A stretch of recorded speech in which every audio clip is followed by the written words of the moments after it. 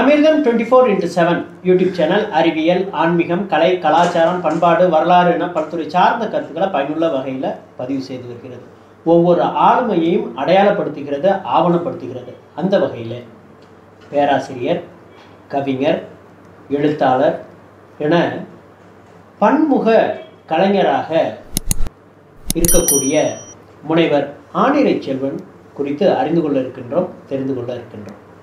ஐயா வணக்கம். வணக்கம்.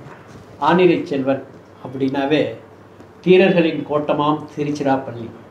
சிராப்பள்ளி மாவட்டத்தில் ஆணிரை செல்வன் அப்படின்னு சொன்னால் அனைவருமே அறிந்த பெயர் தெரிந்த பெயர். அதில் நிறைய இதில் நீங்கள் தடம் பதித்திருக்கின்றீங்க.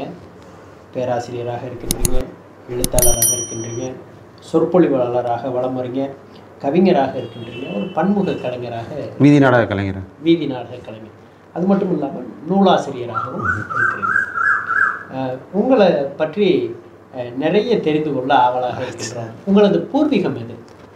அனைவருக்கும் வணக்கம். உழவின்றி அமையாத உலகு. என்னுடைய பூர்வீகம் இந்த திருச்சி மாவட்டம்.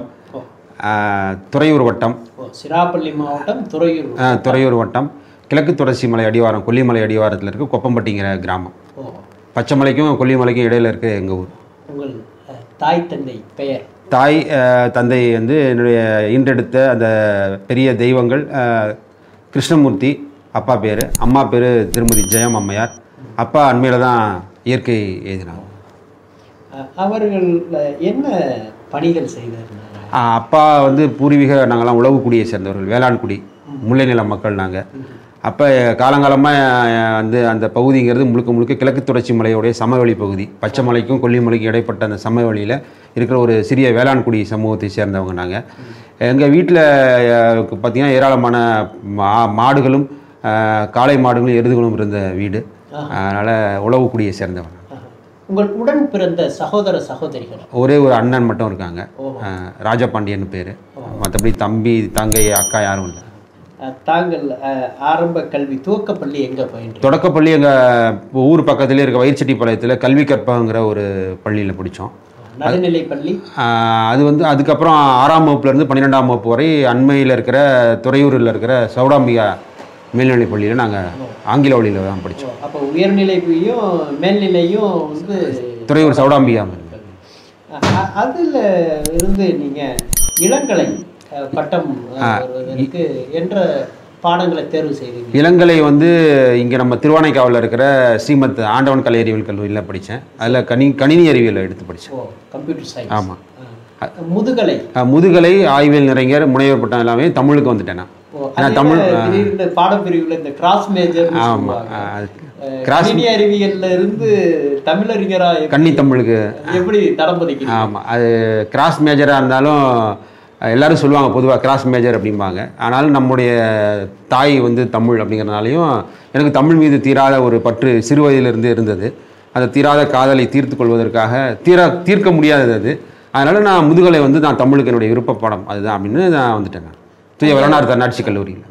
அந்த முனைவர் பட்ட ஆய்வேட்டு அந்த இதுல என்ன இதை நீங்க சமர்ப்பிச்சீங்க அஹ் தமிழ் பல் தமிழ் பல்கலை தஞ்சை தமிழ் பல்கலைக்கழகம் அவருடைய அன்பு பேராசிரியர் காமராசு ஐயா அவங்க கிட்ட வந்து பெண் கவிஞர்களுடைய படைப்புகளும் பாடுபொருளும் அப்படிங்கிறதான் என்னுடைய முனைவர் ஆய்வு தலைப்பு. ஓஹோ.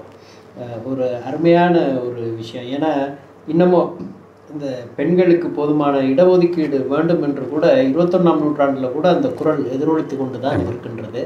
அது ஒரு முக்கியமான தலைப்பும் கூட. அந்த ஒரு முனைவர் பட்டத்திற்கு பிற்பாடு உங்களது பணியானது எங்கு அது நான் வந்து எம்ஃபில் ஆய்வியல் நிறைஞர் முடித்த உடனே நான் வந்து திருச்சி உருமு தனலட்சுமி கல்லூரியில் இரண்டாயிரத்தி ஐந்தாம் ஆண்டே வந்து விரிவுரையாளருக்காக தேர்ந்தெடுக்கப்பட்டு பணிக்கு வந்துட்டேன். என்னை தேர்ந்தெடுத்தவர்களுக்கு பேரை பார்த்தீங்கன்னா ரொம்ப சுவாரஸ்யமாக இருக்கும். கருணாநிதியும் அண்ணாதுரையும் தேர்ந்தெடுக்கப்பட்ட ஒரு விரிவுரையாளர் நான். அப்போ பேராசிரியர் இங்கே உருமு தனலட்சுமி கல்லூரியுடைய துறைத் தலைவராக இருந்தவர் ஆ. கருணாநிதி முனைவர் ஆ. கருணாநிதி ஐயா. அதில் வந்து வெளியிலிருந்து வந்து தேர்வுக்குழுவில் வந்து வந்தவர் தமிழ் பல்கலைக்கழகத்துடைய அறிவியல் தமிழ் துறையினுடைய தலைவராக இருந்த ஐயா முனைவர் அண்ணாதுரை. அதனால் ஒரு அண்ணாதுரையாலும் கருணாநிதியாலும் தேர்ந்தெடுக்கப்பட்டவன் அப்படிங்கிறது எனக்கு ரொம்ப மகிழ்ச்சியாக தற்பொழுது என்ன பணி செய்து கொண்டிருக்கிறீங்க? அதுக்கு பிறகு பெரிய ரீவரா கல்லூரியில் வந்து கௌரவ விரிவாளராக பணியாற்றிட்டு இருந்தேன் அதுக்கு பிறகு பிஷபிபர் கல்லூரியில் ஓராண்டு பெருந்திட்ட ஆய்வு உதவியாளராக இருந்தேன். அது பிறகு மீண்டும் திருவரம்பூர் அரசு கலை அறிவியல் கல்லூரியில் ஓராண்டு கௌரவ விரிவாளராக இருந்து பிறகு ரெண்டாயிரத்தி பத்திலிருந்து திருச்சி கலைக்காவிரி நுண்கலை கல்லூரி. தென்னிந்தியாவிலேயே வந்து நுண்கலைக்கு ஒரு மிகப்பெரிய முனைவர் பட்டம் வரை இருக்கிற ஒரு கல்லூரி. அந்த கல்லூரியில் கலை பண்பாட்டுத்துறை சார்பாக தேர்ந்தெடுக்கப்பட்டு உதவி பேராசிரியராக க பத்தாண்டுகளாக. அஹ், ஆசிரியர் பணி அறப்பணி அதற்கே தன்னை அர்ப்பணி என்று உங்களது வாழ்க்கையில் தடம் பதித்து கொண்டே இருக்கின்றீங்க. ஒரு ஆசிரியர் பேராசிரியர் இருந்து ஒரு எழுத்தாளனா எப்படி தடம் பதிக்கிறீங்க? அது அது மிக முதன்மையான கட்டம். அது யூடிசியில் உருமு தளர்ச்சி கல்லூரியில் பணியாற்றிட்டு இருக்கும் பொழுதே தமிழ்நாடு கலை இலக்கிய பெருமன்றம் அப்படிங்கிற ஒரு மிகப்பெரிய தமிழகத்தினுடைய மூத்த ஒரு முதல் இலக்கிய அமைப்பான அந்த இலக்கிய அமைப்பை வந்து அன்னைக்கு இருந்த இன்றைக்கும் பணியாற்றி இருக்கிற நம்முடைய தோழமை பேராசிரியர் முனையர் மனோன்மணி பட்டிமன்ற பேச்சாளர் அவங்க அறிமுகப்படுத்தின அந்த அமைப்பு. அதில் நான் இணைந்து தொடர்ந்து எல்லா படைப்பாளர்களோடும் உரையாடி பேசி மேடையோ எல்லாம் இருந்ததுனால எனக்கும் வந்து ஏற்கனவே நான் கவிதைகள்லாம் அதுக்கு முன்னாடியே வந்து எம்ஃபில் படிக்கின்ற பொழுதே மாநில அளவில் முதல் பரிசு அரும்பு நடத்திய மாணவ கவிதர் கவிதை போட்டியில் மாநில அளவில் முதல் பரிசு மாவட்ட அளவில் முதல் பரிசு. இப்படி நிறைய நான் கவிதைத்துறையில் நான் ஈடுபடுத்திட்டு இருந்தேன். அதனால் இது கூடுதலாக எனக்கு வந்து ஒரு செழிப்பு அடைவதற்கான ஒரு களமாக இருந்தது. அதுக்கு பிறகு நிறைய எழுத ஆரம்பித்தது கவிதைகள்லாம் இன்னைக்கு ஆஹ், விகடன் கணையாளி கரிஞ்சட்டை தமிழர் ஆமாம் மாதஇதழ் ஆமாம் நாளிதழ் காட்சி ஊடகம் ஆமா, காட்சி ஊடகம். ஆமாம் இருக்கு. கடல் கடந்து இருக்கிற வரக்கூடிய மின்னிதழ்கள்லையும் நம்ம கவிதைகள் தொடர்ந்து வந்துட்டு அந்த நூல் பெயர் அது முதல்ல போட்ட மூ- மூன்று தொகுப்பு இருக்குது அது வந்து எல்லாமே கட்டுரைகள் தான். அதில் ஒன்று வந்து இலக்கிய சுடர்கள் அப்படின்னு சொல்லி ஆய்வு கட்டுரைகள் ஒரு பத்து கட்டுரைகள் எதை பத்தி டிராவல் பண்றீங்க இந்த ஆய்வு சுடர் அந்த ஆய்வு இலக்கிய சுடரில் பார்த்தீங்க இலக்கிய சுடரில் பார்த்தீங்கன்னா சமயம் குறித்த கட்டுரைகள் இருக்குது அதே போல் நம்ம எழுபதுகளில் வந்த நாவல் குறித்த கட்டுரைகள் இருக்குது அப்புறம் இலக்கிய கட்டுரைகள் ஒரு இரண்டு இருக்குது பக்தி இலக்கியத்திலிருந்து. அதுக்கு அடுத்தது பார்த்தீங்கன்னா ஈரோடு தமிழ் அன்பினுடைய படைப்புலகம் சொல்லிட்டு நம்மளுடைய இன்னைக்கு இருக்கிற மிகப்பெரிய மகாகவின்னு இன்னைக்கு கொண்டாடப்பட்டுட்டு இருக்க இன்னைக்கு தமிழகத்தில் இருக்கக்கூடிய மிக முதன்மையான பாப்பூர் நெருடாவை தமிழ் உலகுக்கு அறிமுகப்படுத்திய முதன்மையானவர்கள் ஈரோடு தமிழன்பன் மூத்தவர். அவங்களுக்கெல்லாம் தெரியும் சாகித்ய அகாடமி விருது பெற்ற பெரிய கவிஞர். ஐயாவை பற்றிய ஒரு படைப்புலகம்னு சொல்லிட்டு ஐயாவை பற்றி ஒரு ஈரோடு தமிழன்மின் படைப்புலகம்னு ஒரு நூல்.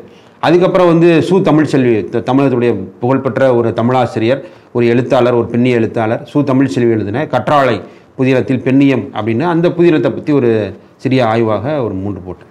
தாங்கள் பெற்ற விருதுகளும் பரிசுகளும். இப்போ கவிதைக்காக அசோகமித்திரன் விருது வாங்கியிருக்கேன். வீதியில் சிறந்த வீதி நாடக கலைஞர் வாங்கியிருக்கேன். கலைஞர் கருணாநிதி விருது வாங்கியிருக்கேன். அதே போல் doctor A P J Abdul Kalam விருது. அப்புறம் பனை நிறைய விதைச்சதுக்காக சிறந்த ஆதி பனை காவலர் விருது. இப்போ கொரோனா காலத்தில் நிறைய களப்பணி ஆற்றியதற்காக ஒளிரும் ஆசிரியர் விருது துபாயில் இருக்கிற பேராசிரியர் கவிஞர் எழுத்தாளர் என்று தாண்டி சமூக ஆர்வலராகவும் தடம் பதித்து. ஆமாம் கிட்டத்தட்ட ஒன்றரை லட்சம் பனை விதைகளை கொரோனா காலத்தில் நட்டிருக்கோம். விதைச்சிருக்கோம். தமிழகத்தோட அடையாளமான மரம் பனை. சின்னம். மர சின்னம் வந்து பனை. இப்ப இதுல இவ்வளவு விருதுக்கு சொந்தக்காரராக வலம் இருக்கீங்க உங்களது வாழ்க்கை துணை. அவங்களும் வந்து தமிழ் துறையை சேர்ந்தவங்க. இரண்டு குழந்தைகள் இருக்காங்க. ஆமாம் உங்களோட எதிர்கால நோக்கம்? நமக்கு வந்து கவிதை துறையில் இன்னும் நிறைய எழுதணும் நிறைய நூல்கள் வெளியிடணும். அதே போல் மாணவர்களை அழைத்து கொண்டு களப்பணியில் ஒரு எங்கள் கல்லூரியை வந்து நுண்கலை கல்லூரி அப்படிங்கிறதுனால நிறைய நுண்கலை சார்ந்து விழிப்புணர்வு பாடல்களோடு வீதி நாடகங்கள் இன்னும் மக்கள்கிட்ட கொண்டு போய் சேர்க்கணும். அந்த கலை வடிவத்தை கொண்டு போய் மக்கள்கிட்ட உயிர் போட வச்சிருக்கணும். ஏன்னா மக்கள் உயிர் போட இருக்கிறதுக்கு இந்த கலை வடிவம் தான் துணை புரிகிறது. அப்போ இந்த இதை ஒரு மிகப்பெரிய சமூக ஆயுதமாக நாம் எடுத்துகிட்டு போய் மக்களை எல்லா நாளும் அவங்கள வந்து தொடர்ந்து அடுத்த கட்டத்தை நோக்கி நகர்த்துவதற்கான ஒரு ஊடகமாக இந்த கலையை பயன்படுத்தணுங்கிறது நம்முடைய எண்ணமாக இருக்குது அதில் நீங்கள் சொன்ன மாதிரி வீதி நாடகம் நீங்கள் ஏற்கனவே சில பேசியிருக்க போல் இந்த வில்லுப்பாட்டு இதெல்லாம் கூட அடுத்தடுத்த கட்டத்தை நோக்கி நகர்த்தணுங்கிற ஒரு எண்ணம் இருக்குது தங்கள் நல்ல நோக்கம் வெற்றியடைய வாழ்த்துக்கள் அமிர்தம் டுவெண்ட்டி ஃபோர் இன்ட்டு செவன் ஒவ்வொரு ஆளுமையும் அடையாளப்படுத்துகிறது ஆவணப்படுத்துகிறது அந்த வகையில் பன்முக கலைஞராக சிராப்பள்ளி மாவட்டத்தில் வீரர்களின் கோட்டமாம் திருச்சிராப்பள்ளியில் வலம் வரக்கூடிய முனைவர் ஆணிரை செல்வன் குறித்து அறிந்து கொண்டோம் தெரிந்து கொண்டோம். இதை போல நல்ல பல பயனுள்ள கருத்துக்களை அறிந்து கொள்ள தெரிந்து கொள்ள புரிந்து கொள்ள Amirtham twenty four into seven YouTube சேனலை சப்ஸ்கிரைப் பண்ணுங்கள் பெல் பட்டன் கிளிக் பண்ணுங்க ஆல் பட்டன் கிளிக் பண்ணுங்கள் ஒவ்வொரு பதிவையும் லைக் பண்ணி ஷேர் பண்ணுங்கள் ஆளுமை நேர்காணலில் முனைவர் ஆணிரை செல்வனுடன் விஜயகுமார்.